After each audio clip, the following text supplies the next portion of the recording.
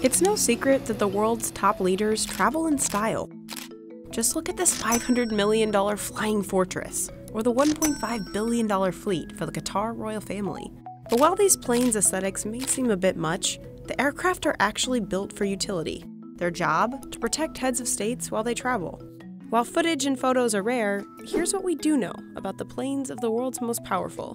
Whenever US President Donald Trump travels, he flies on a retrofitted Boeing 747 200B. There are actually two of them, but whichever one the president is on is called Air Force One. The blue and white double decker planes have been in flight for 25 years. Air Force One is armed against electromagnetic pulses and has secure communication lines. It even has a fully stocked medical suite that can act as an operation room. It has the capacity to hold 100 people on board. The aircraft are estimated to be worth a billion dollars. Russian President Vladimir Putin has the biggest fleet, with a total of 132 aircraft. His primary transport? The Russian made Ilyushin IL 96 300. On the outside, the plane is painted with a special coating that makes it less detectable to radar, but also has radar jammers and anti aircraft defenses. On the inside, there are tapestries, lots of gold, an office, bedroom, and full gym for the president. It's valued at half a billion dollars.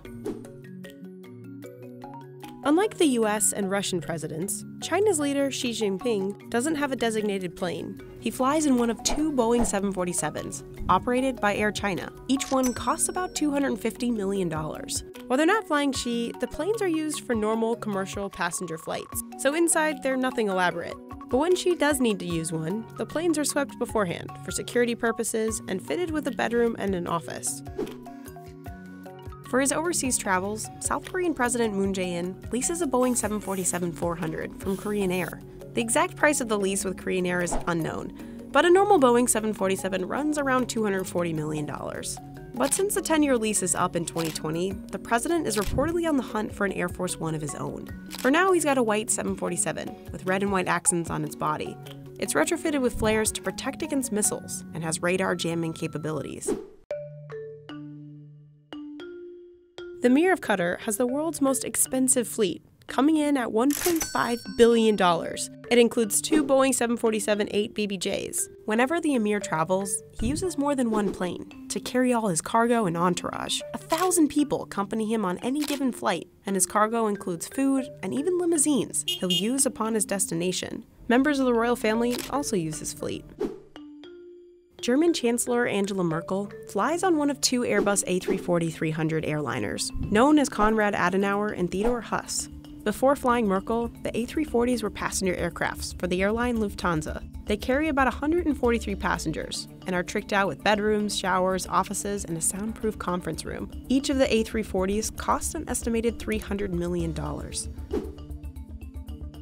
The UK Prime Minister flies on an Airbus A330 that costs 250 million. It's pretty much a passenger plane, but with added aerial refueling capabilities and a redesigned interior. There's a suite in the front of the plane with a curtain to block it off from the rest of the cabin. The plane also has 58 business class seats and 100 economy seats for journalists. It holds the record among the planes of the world's leaders for the ability to carry the most passengers. If you're wondering, the royal family boasts a $100 million fleet of their own, with 10 airplanes and 3 helicopters. President Hassan Rouhani travels overseas on an Airbus A340 that Air Canada and Turkish Airways once owned. Rouhani's plane is the only one operated by Iranian airline Dina Airways. Its price is unknown. Turkey's fleet has an impressive number of commercial planes converted into VIP transports, including Airbus A330 220s, Airbus A340 500s, and a Boeing 747 8 private jet. The last one was a gift for Turkey's president from the government of Qatar. Instead of the 400 seats that are normally on board, this one got a major makeover. It now holds just 76 passengers in its first class suites, lounges, and conference rooms. There's even a hospital on board. The jet is worth a whopping $500 million.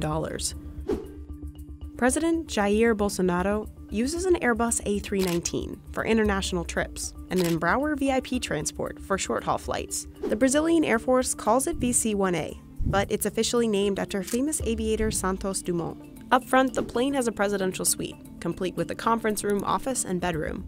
While all these planes are tricked out a little differently, one thing's the same the world's leaders like to travel in style.